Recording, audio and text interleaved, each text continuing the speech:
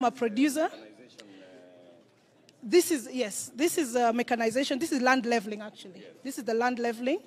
Uh, this is the planting. We use planters. And before, it was being done manually. But even as we're trying to reduce, uh, improve production, we ensure that once it's from the nursery, and we do that. Yes, and even as we're doing this, we try and reduce the cost to the farmer. So that's one of the challenges we are facing. What are you doing, James, to make sure that these people have equipment? You know, I talked to you the last time, but we Yeah. have uh, some. Yes. but not good enough. Yeah, okay. Then um, this is the current uh, land production. It's 1,200. It's mainly from the Bunyala scheme. Once the Lower Nzoia has uh, been operationalized, and I think the project is nine, about 75% done, it will have 6,000 acres. That's for phase one. Phase two will have another 10,000 acres. And uh, this is only the irrigated.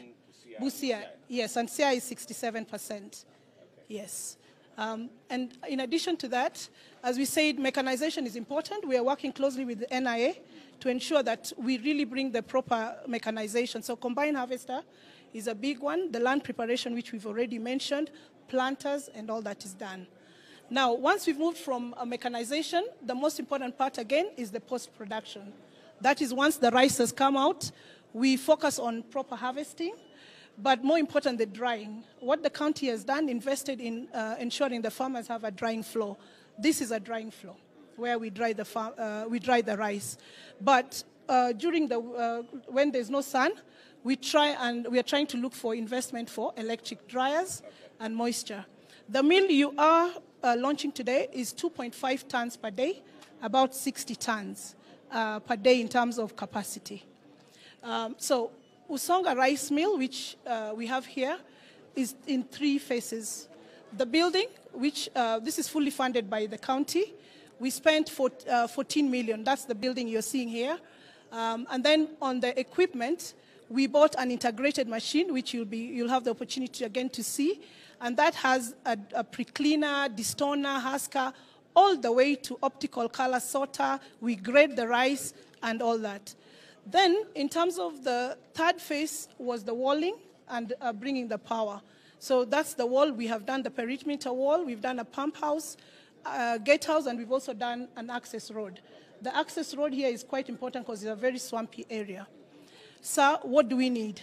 Um, in order to make sure that we can, we can compete, and in order to make sure that this is running the way it should, working closely with the State Department of Irrigation, Marketing, and all, we need to, we have done this, the power factor, so this is something that we've worked on, but we need to construct a curing store, a warehouse.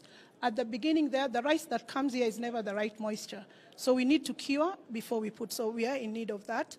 We also need a construction for the, the finished product. And that will enable us to take advantage of warehouse receipts and commodity stores. We also are looking at an administration block which can serve also as a farmer uh, service center. We also are looking at a solarized borehole uh, at 4.5. And in terms of that, we also want an overhead water storage just to help us understand by generator given there's sometimes and reliability of power. In total, that's 56. But to, yes, sir. To finalize the story, this can only be an investment which is productive if the Lower Nzoia is completed, because that is what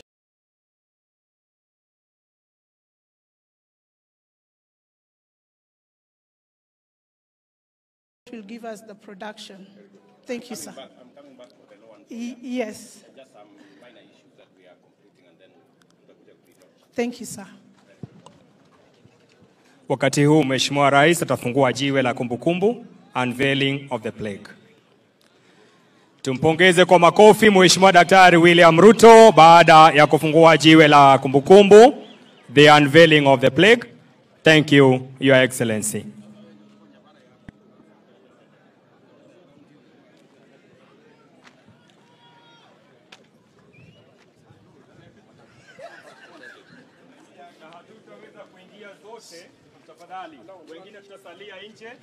Mheshimiwa Rais sasa takata utepe na kuelekezwa kwenye safari fupi.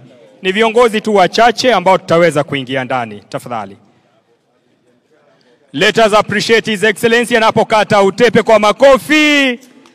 Ongera, ongera Mheshimiwa Rais. Tukate sasa, let us stop.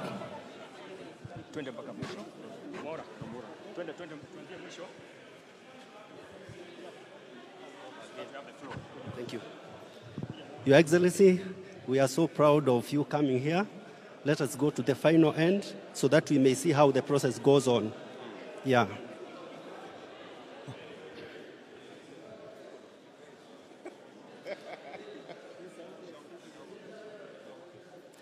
So this is the intake pit where we normally take paddy. The paddy has, which has already attained the, the, the moisture content for drying at 12.5%. Uh, after that, we normally pour that paddy into this pit, and then it's collected by an, an elevator. Then it's taken down into this uh, machine known as a paddy cleaner, whereby the, the, the impurities are removed, like weeds and straw are separated by this machine. Then from there, it gets to, a, to another machine over You there. tried to do test running. Yes, we have tested already. It is- it is At- working. Yes, it is working. Even at the final end, we have a, we have, we have a final product. Yeah, that is the paddy. Yeah, that is the paddy. That is the Kwamboka variety paddy, which is uh, aromatic. Sir. Yes. Iko na harufu mzuri. In fact.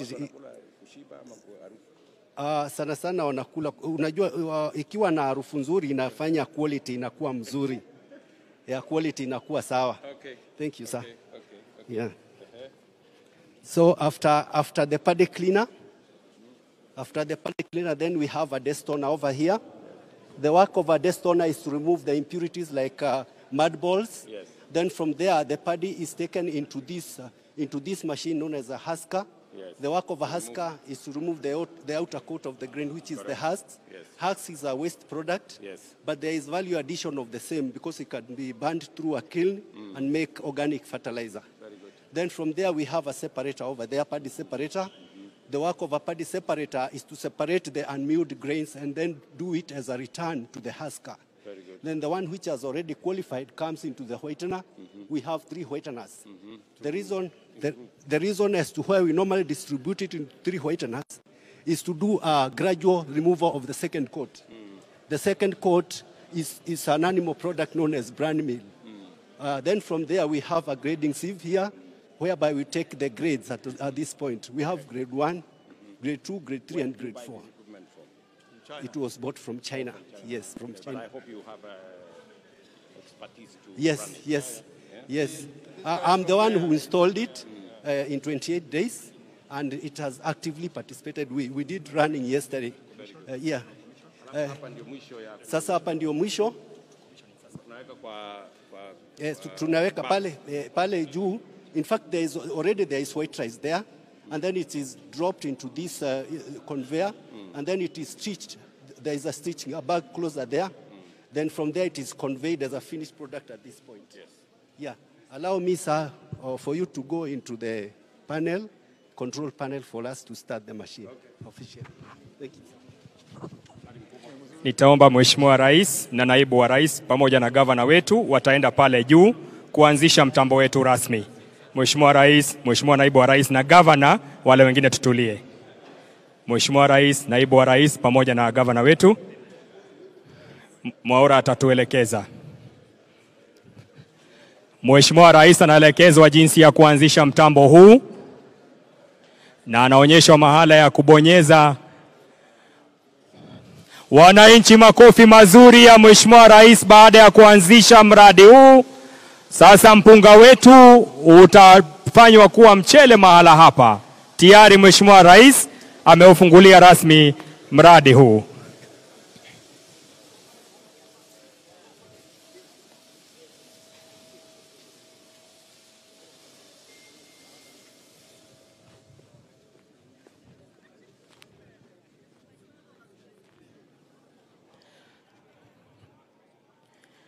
Ni dhahiri shahiri, mgeni njoo mwenyeji apone, maana tayari sasa Mheshimiwa Rais amekwisha fungua rasmi mashini zetu, ishara kwamba sasa tu rasmi kupokea, kuleta mpunga na hata kuweza kuwa na nafasi nzuri. Anaelekezwa na kuonyeshwa mchele ambao umetoka katika shamba letu.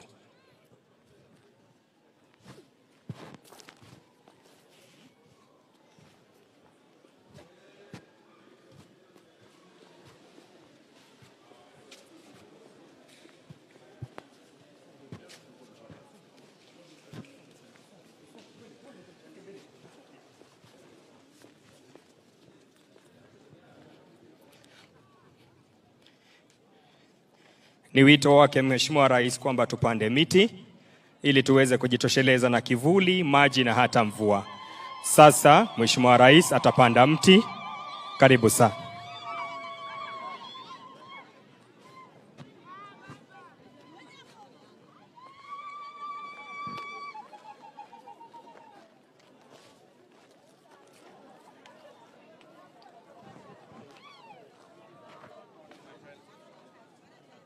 From Kenya Forest Service ready to take you through a tree planting event, sir.